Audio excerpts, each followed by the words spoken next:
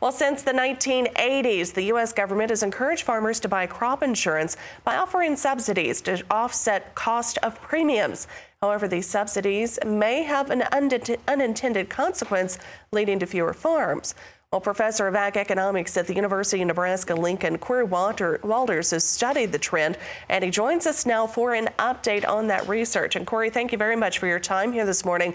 Could you begin by telling us just a little bit about the crop insurance subsidies and their impact that you've seen? Yeah, the, the current taxpayer uh, uh, subsidized program began in the 1980 with the Federal Crop Insurance Act, and then uh, it was followed up with another one in 1994. And then uh, the big one in uh, 2000, the ARPA Act, the Agricultural Risk Protection Act. Uh, these, these acts were essentially aimed at increasing producer participation uh, uh, through, of course, a subsidy and uh, enhanced coverage options. And they, they very much worked. right now, corn and soybeans, we have over 90% of all acres insured. So what does that, how does that lead to fewer and larger U.S. farms? Yeah, so the, the mechanism is uh, uh, a bit, bit intriguing. Uh, what happens is crop insurance, you, you take off, uh, when you purchase a policy, you take off the, the tail of a, of a distribution of, of you know, bad outcomes. That changes the expected income then for a farmer, and then, and then that can incentivize them to produce more. Uh, for the uninsured farm then, uh, they, they don't get this benefit, and it, it, can help drive them out of the market. Um, and on top of that, then the, the insured farms, uh, they can use these returns, especially after a, a bad event, let's say a, a you know, a drought or something, uh, then to, to uh, uh purchase these, these farms that aren't as in good of a financial position.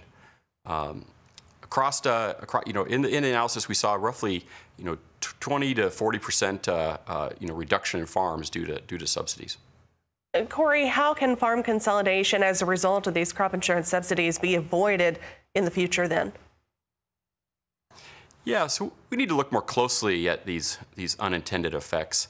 Um, but but clearly, you know, being being aware is the the first thing we want to do um, because we we want to create you know an, a policy that will uh, uh, be much more robust in the future when rethinking the, the current policy design.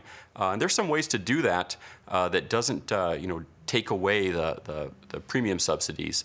Uh, we can maintain those, I think, and uh, uh, make some subtle changes to take away these sort of effects.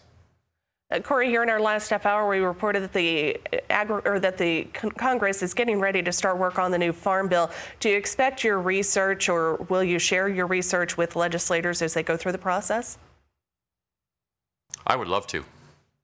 Well, good deal. Thank you very much, Cory, for taking the time to join us. We appreciate your insight today.